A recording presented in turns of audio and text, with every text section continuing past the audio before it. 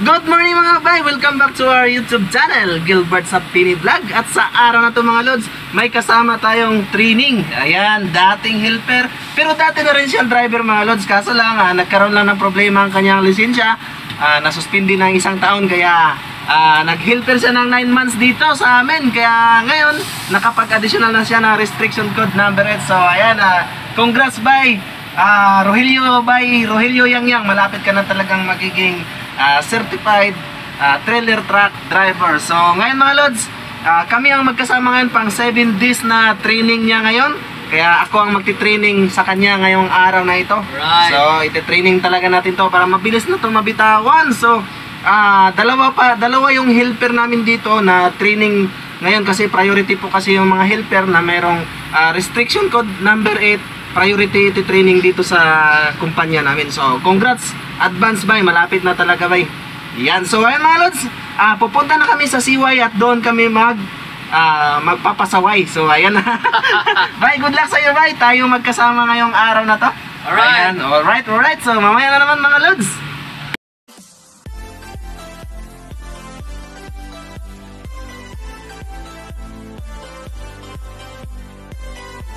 So, ayan na po mga lods, yung ah, helper natin na training sa pagdadrive ng Ottawa. Ayan, yung unang atras niya sa araw na ito. Ayan, yan yung unang atras niya sa araw na to. Ipapasok niya dyan sa slot na yan. So, pang 7 days na training niya ngayon mga lods. Ayan, si Bay Rogelio Yang Yang, dating tin-wheeler driver. ah, nasuspindi lang ng 1 year yung kanyang lisensya. Then, nung natubos na niya, ayun na nagpa-additional code na siya na restriction code 8 at ngayon training na siya dito sa amin ngayon. So 9 months siya nag-helper dito mga lods. At ah, sa loob ng 9 months na yun nagsawa na rin siya kaka-helper. Kaya nagsikap talaga siya na ah, madagdagan ng restriction code number 8 yung kanyang lisensya. So isipin nyo mga lods ah, umuwi pa siya ng Davao at doon siya sa Davao nagpa-additional code. Kasi ah, dito sa Maynila hindi siya madagdagan ng ah, 8 kasi nga ah, suspended ng suspended ng ano 1 year yung kanyang lisensya. Kaya ah, parang ano panibago yung kanyang rest- restriction code number 3 kaya ano kaya hindi siya nadagdagan ng code. Kaya umuwi siya ng Davao at doon siya nagpa-additional. So yan yung unang atras niya ngayong umaga na to mga lods. Pang 7 days na training niya ngayon. So nung nakarang linggo hindi ito nakasampa sa akin iba yung driver na nasampahan niya. So ngayon ako yung kanyang kasama. Kaya ayan magsawa siya ngayon sa kakatras dahil ah, hindi ko pakikialaman yung manibela. So buong araw ngayon mula ngayong umaga na to hanggang mamayang hapon siya yung papadriving natin at siya yung ah, mag-arrange dyan sa mga container. So sinabi ko sa kanya palagi na ah, isipin niya na solo na siya para hindi siya magano kung sa Bisaya pa dili siya magsalig nga naa siya driver na kauban. So ngayon yan. Ah, nahihirapan pa siya. So madali lang to sa kanya kasi dati naman siyang ah, tin-wheeler driver eh.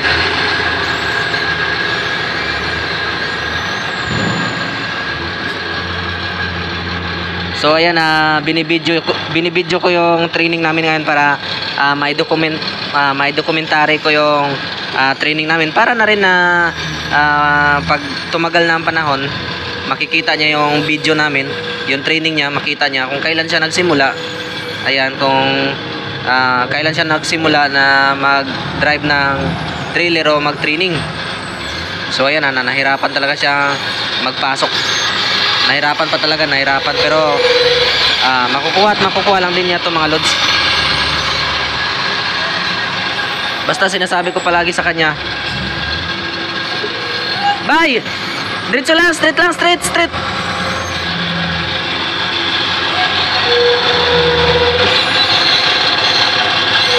so yan.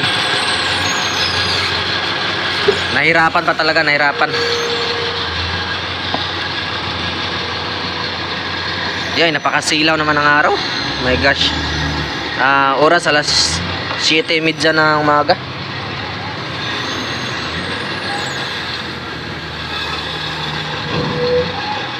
Bay! Straight lang, straight!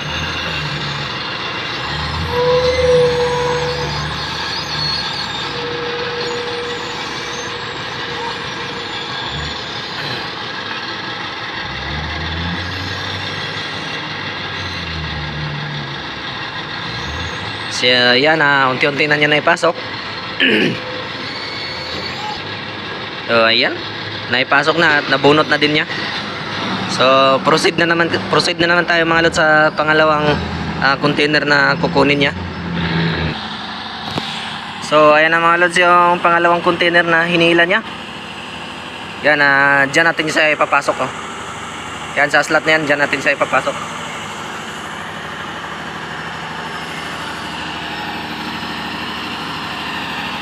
So, ayan.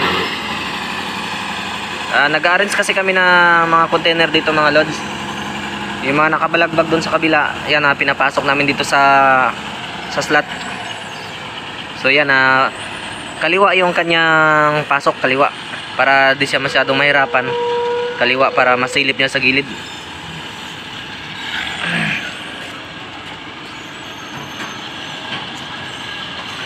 So yan oh. Papasok niya dyan sa ano, sa slot.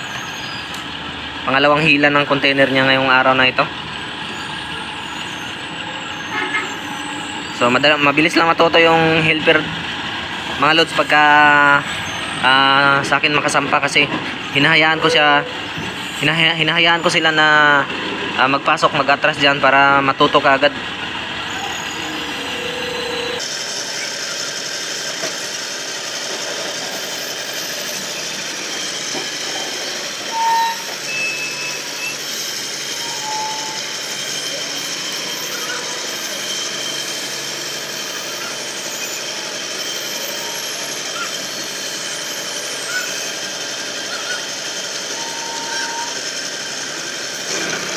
Hindi nadali.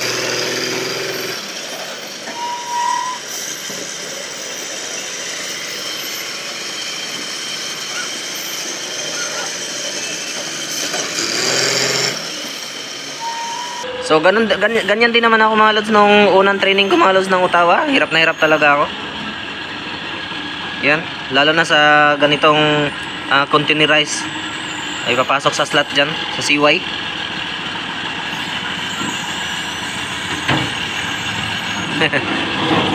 lumalayo ng lumalayo.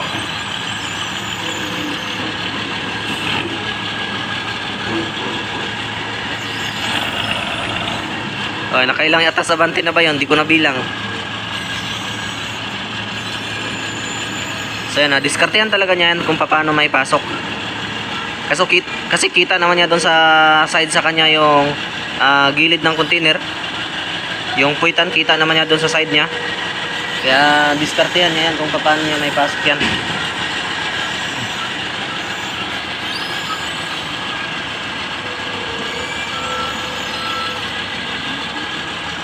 So pang 7 days na training niya ngayon. Sa 7 days na training ako yung kasama niya pang 7 days. So i-training talaga natin to mga lods. Para matuto ka agad dito mag drive, mag-atras. Kasi pag nasa tabi niya ako mga lods, di siya makadiskarte ng ah, diskarte niya kasi syempre ah, ano na susundan niya yung aking ano sasabihin. Pero syempre na na subukan naman niya na at na ituro ko din naman sa kanya kaya yan hinayaan ko siya dyan na mag isa siya dyan para makadiskarte siya paano niya may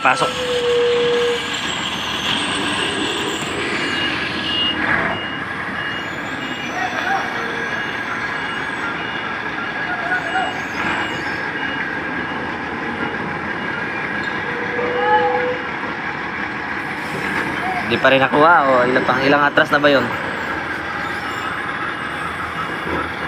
Pang ilang atras sa banti na kaya 'yon?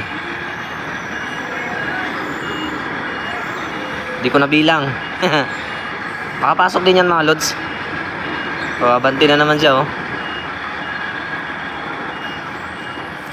Nahihirapan pa talaga, nahihirapan. Uy, lumayo na.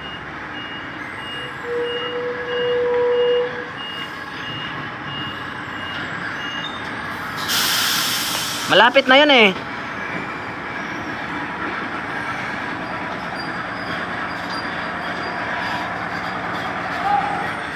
Yan. Lalayo na naman yan siya. O, ab- abante na naman siya, abante.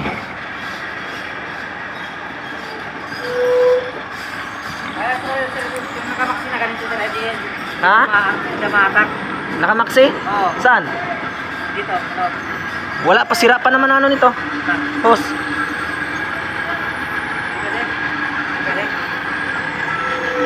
So, yan mga lods. Oh, abanti na naman. Kunti na lang oh, makapasok na. Hmm. Yan, pasok na yan. Yan. Ayan, pasok na yan. Abanti na naman. Di natin nabilang kung ilang atras abante na yan mga lods ah. So ayan, pagka, sa pagkakataong yan, imposible kung hindi pa rin niya may pasok.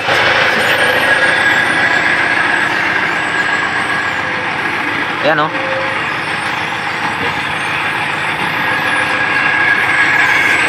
Tingnan natin dito sa kabila. Lumalayo. Ibay!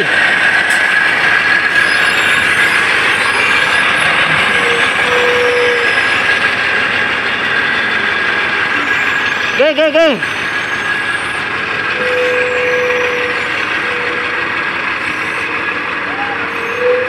Abante ka dito, bay. Up.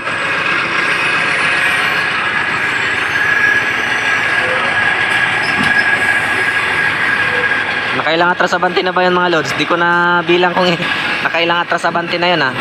Oh, bawi na, bawi! Bawi na, bawi! Tama na, up!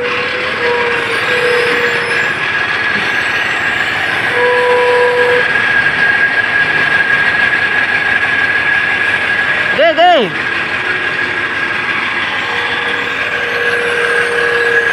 Ge, bawi mo na, bawi mo na, bawi! Bawi na, bawi! Todo, bawi!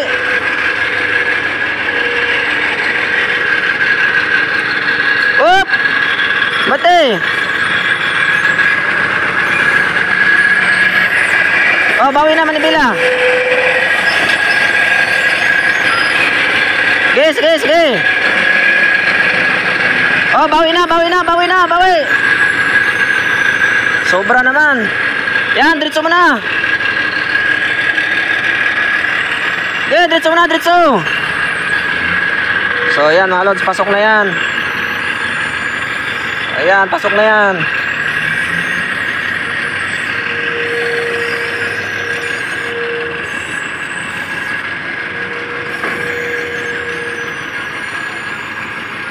Ayun, pasok na. Okay, atras pa. Up. Ayos, so ayan mga lods, pasok na mga lods. Di natin nabilang kung ilang atras, ilang abante yon. Ang importante, pasok na. So ayan, ah, proceed na naman tayo sa pang tatlong hila mga lods. Ayan mga lods, pang tatlong hatak na container niya ngayon. Yan, pang tatlong hatak. So, ipapasok niya doon yun sa slot. Yon, doon sa slot na yun. Okay, shitty na!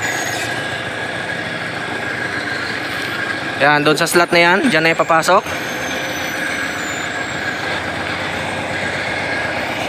Pang tatlong container na hatak niya. Yan. Maluwag lang siya kasi bakante. Dalawang slot yung bakante kaya maluwag lang. At pabor din sa kanya yung kanyang pasok. Oh, bawi na, bawi! Sobra, sobra! Abante! Up, straight na, straight! Okay, straight!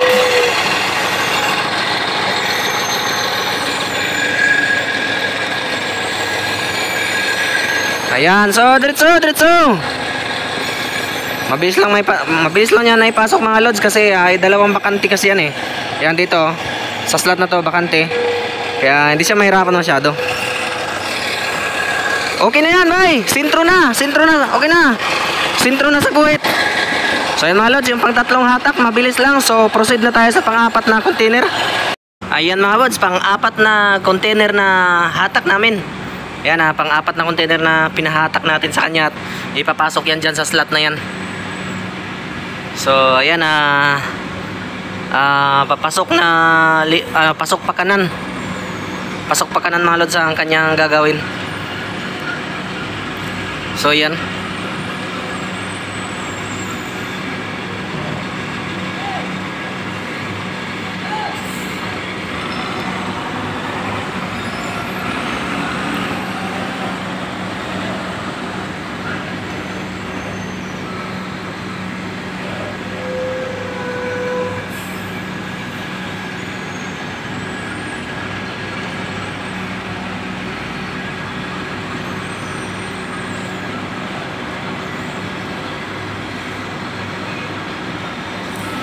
Yan mga lods, pang apat na container na ipapapasok natin sa kanya dyan sa slot.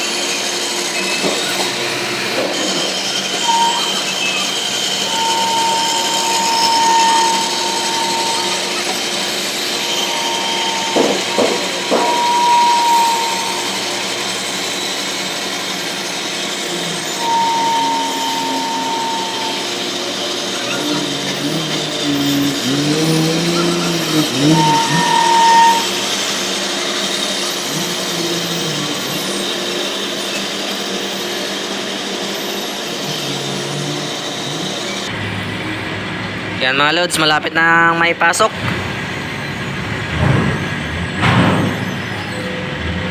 Yay. Labas ulit.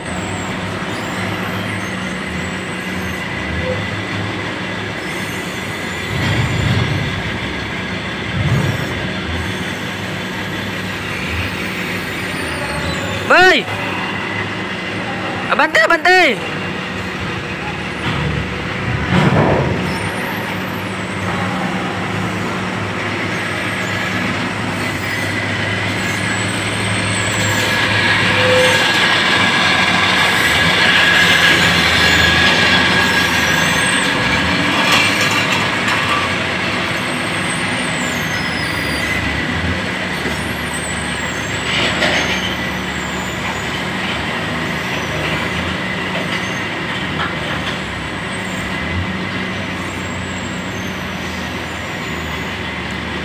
Yun, pasok na mga loads.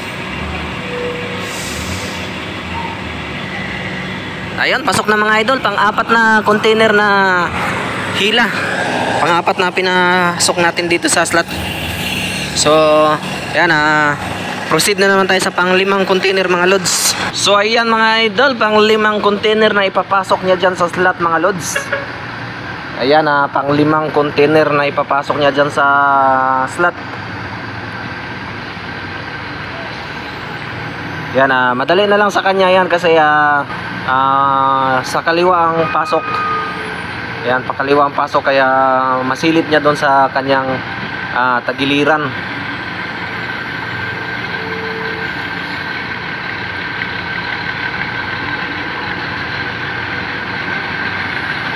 Ayan o, sobra ang kanyang kabig, sobra.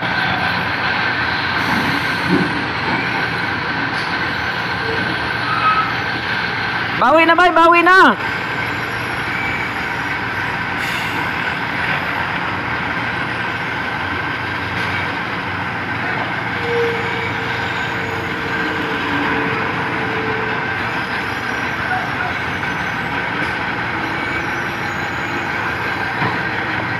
Ayan, ah, pasok na yan mga lods.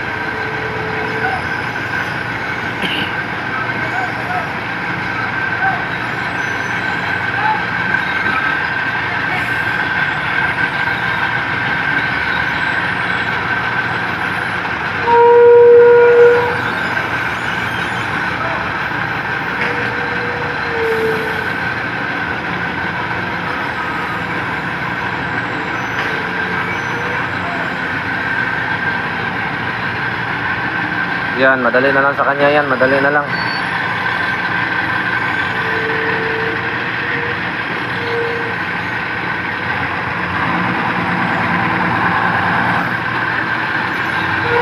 Okay, straight lang, straight.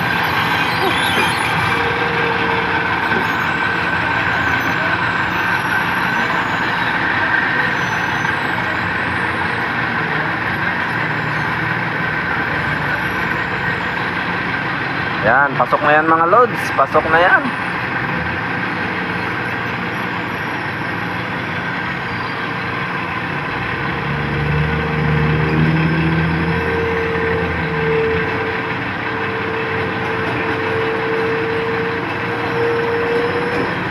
Ayun, pasok na. Ayan, ah, pang limang container na ipinasok niya dyan sa slot. So, ayan mga lods, ah, proceed na naman tayo sa pang-anim na container na ipapasok niya mga lods. So, ayun na nga mga bay, tapos na duty namin mga bay at kami ay pauwi ng grahe.